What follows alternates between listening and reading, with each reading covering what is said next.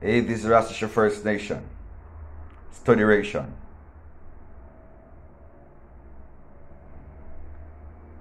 I continually see the educated and the uneducated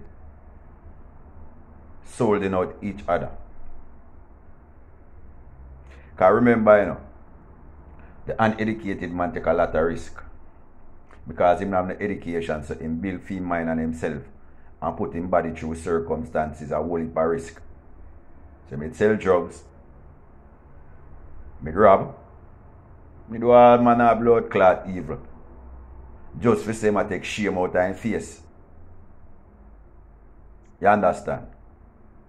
Alright, and dig this now. He may not be a great sharer. He may not be a great giver. So no, I go come in here now. Bad mind and envy. So people I go afraid of him cause him a bad man or him a killer and have the money. But 99% people are going to hate him because he's not a giver nor a sharer. Check it now how the evil eyes stay.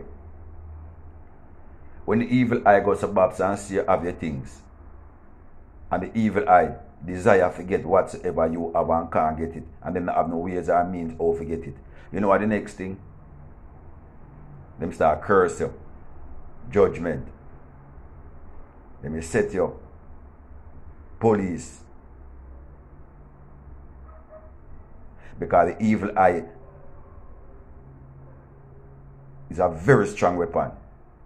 When enough people, educated and uneducated, are used against themselves.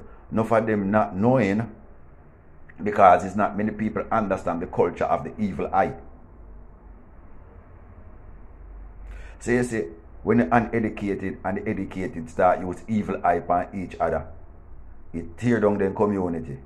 Violence and crime and hatred and grudge and funeral and jail and death and prison. Because them have evil eye against each other. And the mind and them thought against each other is very, very, very, very blood clot, pig stylish.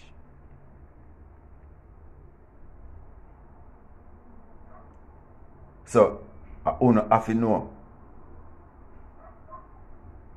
when me see the uneducated and the educated are go at war, there's no say them are go at war for what?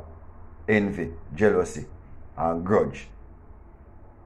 Hey, this is Ras Ash First Nation.